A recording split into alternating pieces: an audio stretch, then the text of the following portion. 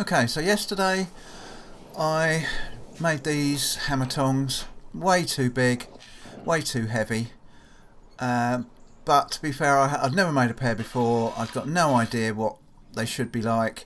It wasn't until I'd actually sort of got them put together that I realised they were just a bit too big. They work perfectly well, as you can see, but um, the, the combined weight of them and the hammerhead is, is an awful lot to hang on to. Um, but you, see, you can see they even work on these fairly small heads. But I'm going to have a go today and make a smaller pair. Something much more manageable. Um, I'm only going to be making small heads, so only want something small. This is what I made these out of. It's three quarter, three eight. So I'm going to try today with a bit of half inch square. See how I get on with those. So, let's light the fire up and crack on.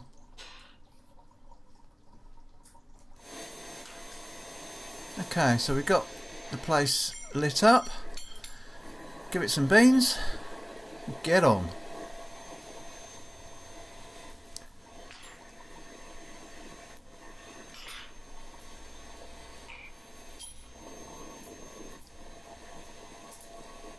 Look at that fat old bloke. I must take some weight off. Right, first of all, I'm just going to um, flatten it all out a bit so that it's more like instead of half inch square it's more like sort of 5 8 3 8 uh, I want that sort of rectangular shape. Now I'm just setting down a, a little nibble over the edge of the anvil which is going to be the little roundy bit on the end. And then just basically taper it. Give it some shit. Taper it down I'm doing these one at a time um, just because I find it easier because it's it's quite small stuff.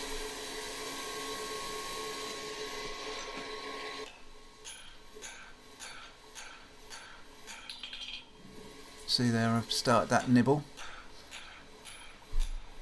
Draw it all down a bit more. Round that up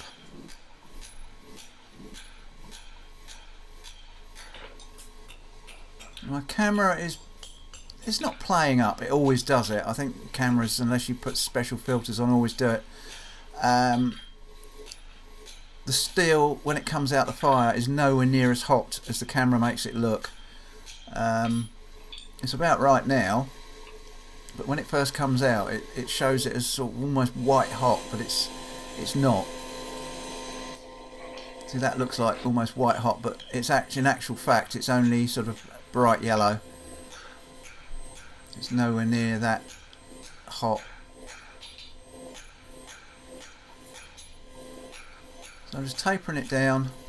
I want roughly, I think, I'm just, this is all out, out of thin air. I'm aiming for roughly 8 inches of uh, modified steel. So I want it about 5838 at the fattest end tapering down to something like, I don't know, 5 sixteenths maybe, where the little round bit is.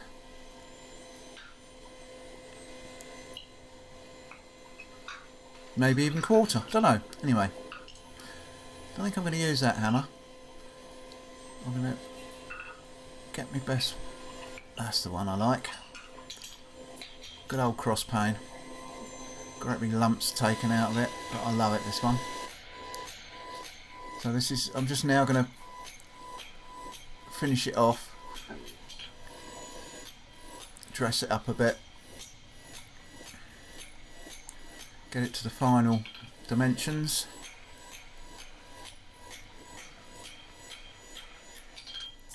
And so I've never made one of these before, uh, well until yesterday, um, but I had half an hour or so and I just thought let's give it a go. Um, there you go, I've roughly marked 8 inches on the anvil there. Um, I had no plans, no scales, no drawings, no nothing. I just seen a couple of pictures on um, Pinterest or Instagram. No, Pinterest I think it was. And thought we'll have a go. So it's all been made up out my head. Like even that round nibble on the end. Um, looking closely at the photos, I think uh, a lot of people they draw it down to a point and then curl the point up. But I thought what's the point in doing that? Just knock a nibble over on the end. Seems more sensible to me. I'm just knocking the edges off making it sort of a rounded rectangle shape just so there's no sharp edges. Just a little bit more pleasing to the eye. And probably will work a little bit better. The if you've got no sharp edges they won't get caught in the eye hole. If you're depending on how far into the eye hole the end of the tongs go.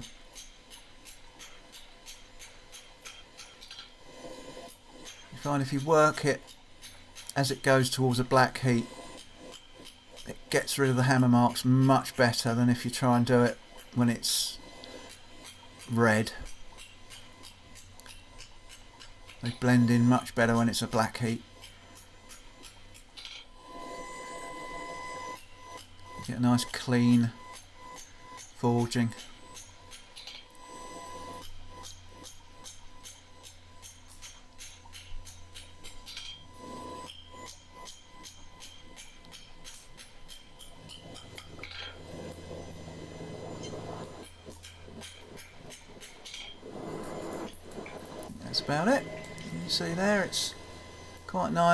relatively clean a few hammer marks but not a lot so now just to get rid of all of them I'm just going to do a little bit of hot rasping and again this looks bright yellow here but it's actually only sort of orange in reality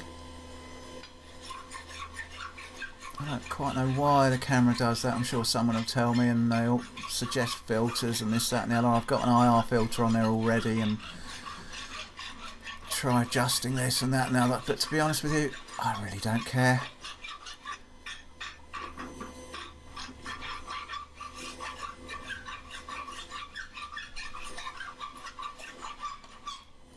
This uh, just tidies things up even more. A bit of hot rasping.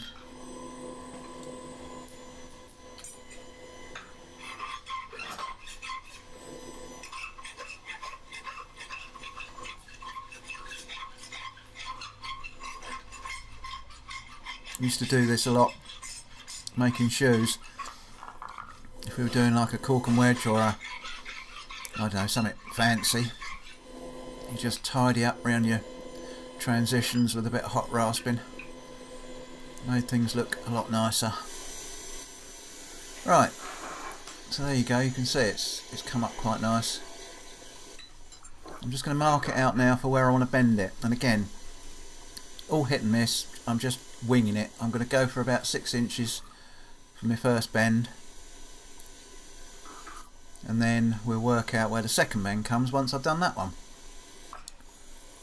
Now I could do this over the edge of the anvil with a nice hot heat, tap it round but I'm going to use the miracle bender just because I can. I've got it. It's easy. It's done in a second. You can be fairly precise and you don't get any hammer blows on it so after nicely tidying that up I'm not going to damage it I've put a, a, a mark there as you can see which is roughly 45 I'm just pulling it out to that. Gone a little bit too far.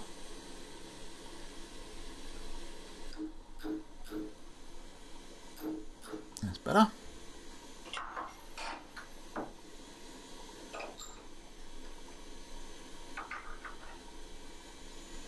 Go. Easy. Now we're going to mark the second bend. Now again, I could do it over the anvil. Can't do it in the Miracle Bender because I can't hold it because it's too short. Or unless I've spent loads of time packing it all out. So I'm going to use my, I don't know what you'd call this, little bender. I've marked approximately, I think it's about three and a half inches on the bender so I know where to put it. And then I'm just pulling it round. And again, look at that. simple, quick, no hammer marks. Nice uh, gradual bend, it's not too sharp. I'm just going to put my touch mark on it because I always forget to do this on a majority of my jobs. Not that it matters, you know, who cares who made it, but sometimes it's quite nice just to put your mark on things. I won't be selling them, so it doesn't really matter. But when I'm dead and gone, someone might want to know. So, as if by magic, we've got two of them. So I literally didn't bother boring you with the second one because it's exactly the same as the first one. Now I'm just going to mark out where I want to put my um, rivet hole. I'm going to punch that. So I'll just line them up.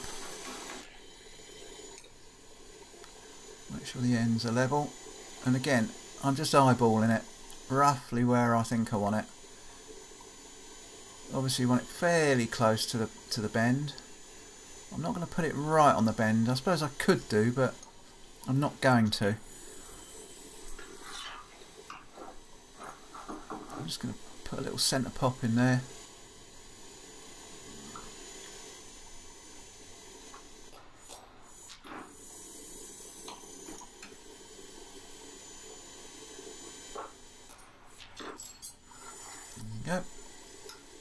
I should be able to see them. It comes out the fire. Again, it's not that hot. You don't really want it that hot. You want it about a, sort of a bright orange, but not like it looks there. Now I'm using my old stud punch that I used to use for putting stud holes in my shoes. I thought that come in quite handy. This is a 5 16th one, so I'm going to just knock it through and open it up to about 8 mil, 5 16th.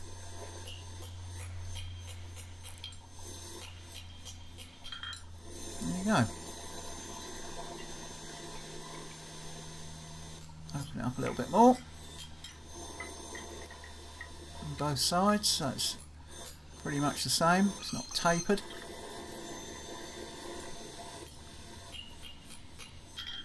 You can see with all these operations, I, I was just pointing there, you might have seen it fly out. I don't know whether you did or not, but trust me it did.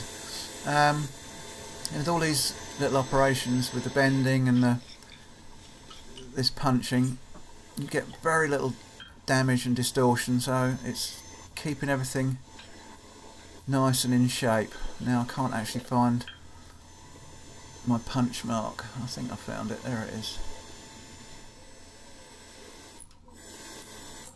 Now this one actually goes a little bit off centre. Try and even it up a bit, but there it goes, that piece. I don't know if you saw it that time. Yeah, it's a little bit off centre that one, but hey ho, it, it won't matter. You know, it's only for me.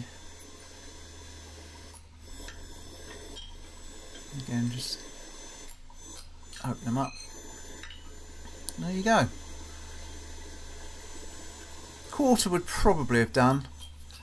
I haven't got a punch at a punch quarter, so I'm just using what I've got. I've got a 5 16ths and a 3 8.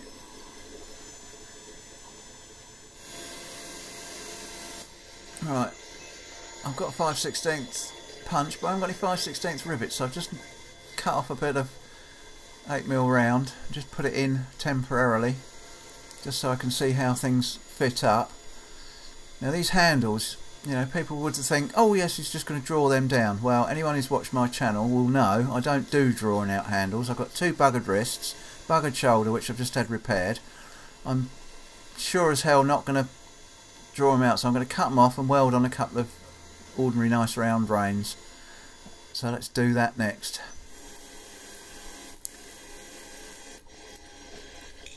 Now, I'm just going to scarf these. These are the reins. Just some bits of 3/8 round. I have just in the past on many tongs just literally butt welded them on, and I've never had one come apart yet. They always seem, if anything's going to break, it's always at the base of the jaw. Um, but just for added security, I'm just going to put a, a bit of a scarf on there. about half the thickness. Uh, and I shall do the same on the other bit and then just whack a, a MIG weld along it. You know, I can't see the point in drawing stuff out if you haven't got a power hammer. And so I've got just had one shoulder repaired about eight, seven or eight months ago. It's still not back to fully strength, but much, much better. And I'm just about to have another operation on my hand. I've got carpal tunnel yet again. So that's why I'm not putting myself out doing too much hammering. If I can avoid it, I will. Right, now I'm just doing the same with these, drawing these back down to about 3 8 3 8 sort of width. Down I suppose down to about a 3 8 square. No, not 3 8 square. Yeah, 3 8 square. Uh, and then I shall put the, the, the scarf on there. Now, if you're worried about damaging the rivet hole, it's about the right width, just checking. You could always leave the rivet hole until you've got your reins on. Or if you're going to draw your own reins out draw them out then put the the uh, hole in. I'm actually not that bothered and to be honest I didn't even think about it but I probably would have been better off cutting these off doing this scarf welding the reins on and then punching them but and so I didn't think about it and I'm not that bothered. There you go. You can see it has slightly distorted the hole. Ow, that was hot. Um, I'm just going to do that. Put some weld in there and then blend it all back in. As you can see, it just has distorted the hole a little bit, but I can easily punch that out again. Just open it up. I'm just doing the other one.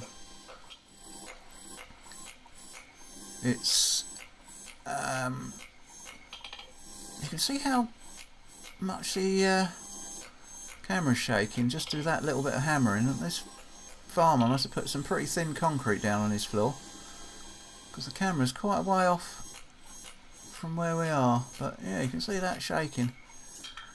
Hmm, might have to do some more foundations if I get if I do get a power hammer. Anyway, it's beside the point. You can see what I'm doing, just scarfing this. Getting them both ready. Just tidying the hole up because I have slightly distorted it.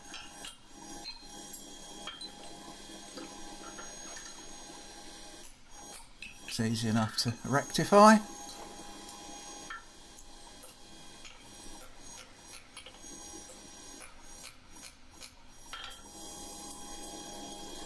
Done. Go and weld some reins on. Right, I've just put a little bevel, if it'll focus, you'll be able to see this. Put a little bevel on both the jaw and the rein, just so I can get a bit more weld in there. I've just tacked it at the back. So now we can blast a bit of MIG in there.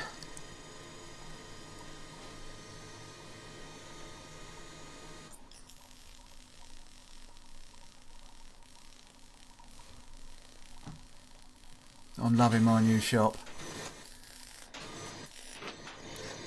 The space I've got, I can do more than one job at a time. I just can't get over how cracking this place is. I'm very, very lucky. There you go. So all I'm going to do is go back over to the fire, blend it all in. Bob's your uncle. And don't forget the rivet.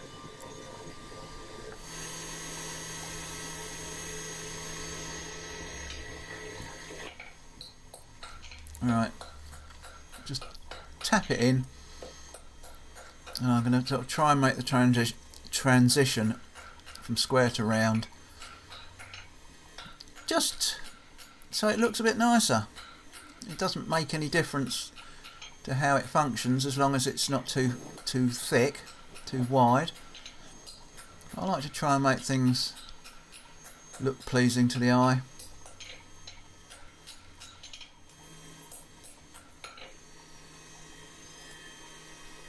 Straight.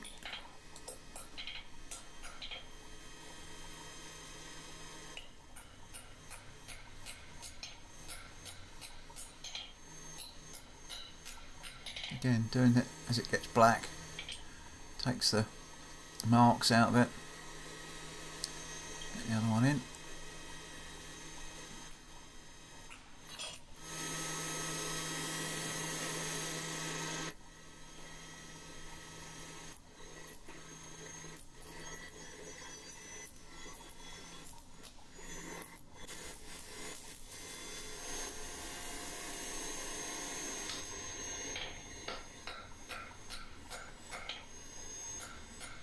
Doing the same on that one.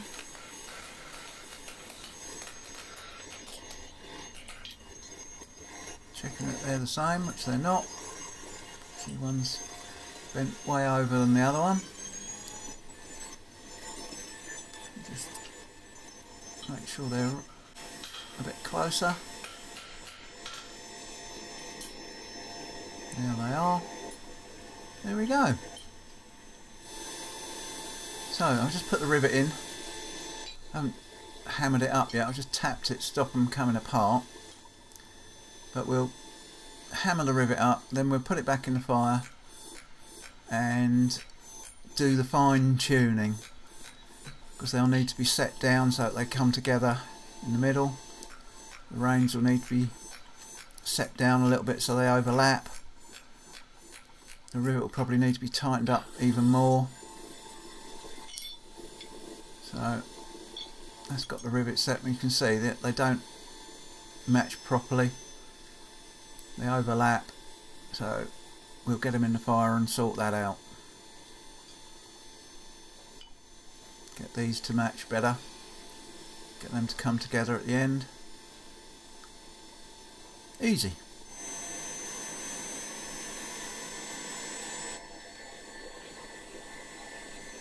Let's do the rivet first, make sure that's nice and tight. It's still working. Now just tighten everything up, close up. Now doing this a bit cack-handed, I should have just put that over the edge of the anvil, I thought, or over the beak. I thought I would just tap that out.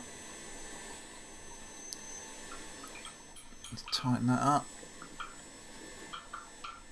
Pull that out. It's all a little bit of just fettling, fine tuning.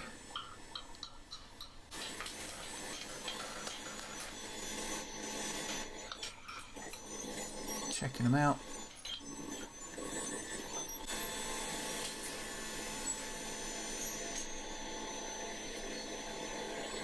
That's about right.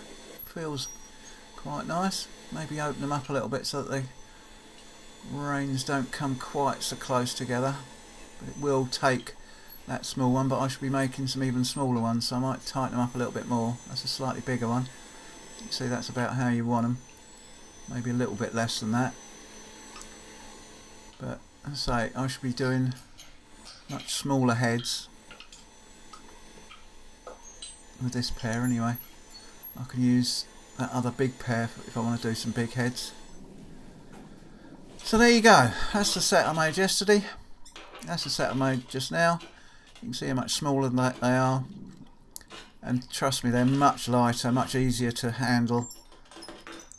Um, yeah, nice. They're going to come in very handy. So I suppose the next thing, I've got to start making some hammers. I'll probably start off with uh, a few more nailing hammers for showing. See if I can flog a few of them to some of the local guys. And then take it from there, however that goes. So thanks for watching. Hope it's been useful to somebody, and we'll catch you on the next one.